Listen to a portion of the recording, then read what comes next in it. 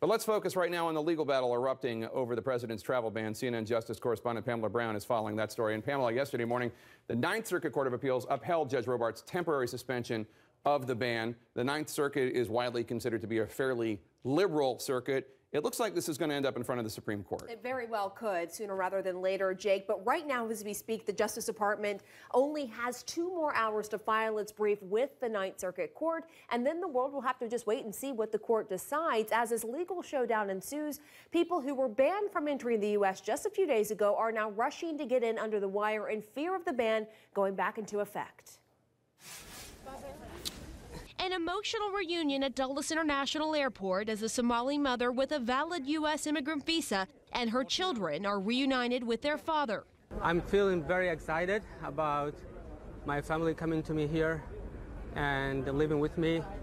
Uh, it has been a very difficult week, but uh, I'm happy that it ended happily. His family was turned away from coming to the U.S. last week because of President Trump's travel ban. But Friday, a surprise window opened up when a Washington state federal judge temporarily halted the ban nationwide. We must intervene to. District Judge James Robart ruled the plaintiffs, Washington state and Minnesota, demonstrated immediate and irreparable injury from the executive order in areas of employment, education, business, family relations, and freedom to travel. That order set off an immediate chain of events around the world and prompted the president to fire off angry tweets, even attacking the judge. Quote, the opinion of this so-called judge, which essentially takes law enforcement away from our country, is ridiculous and will be overturned. And, quote, just cannot believe a judge would put our country in such peril. If something happens, blame him and court system.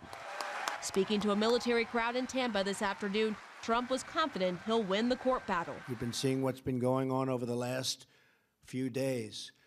We need strong programs so that people that love us and want to love our country and will end up loving our country are allowed in not people that want to destroy us and destroy our country.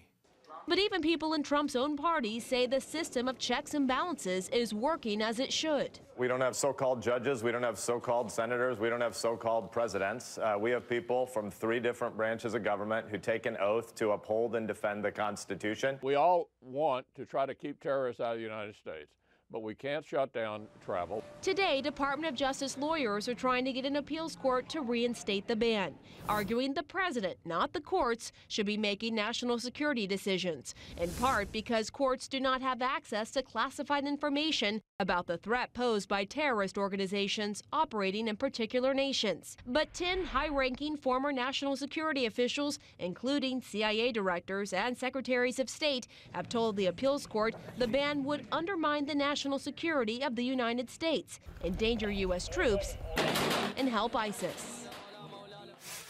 And the court has also heard from 97 tech companies like Google and Apple who depend on foreign born labor and oppose this ban. So, right now, all eyes are on the Ninth Circuit Court, which will decide whether or not to reinstate this ban as this appeals process moves its way through the court system. Jake. All right, Pamela Brown, thank you so much.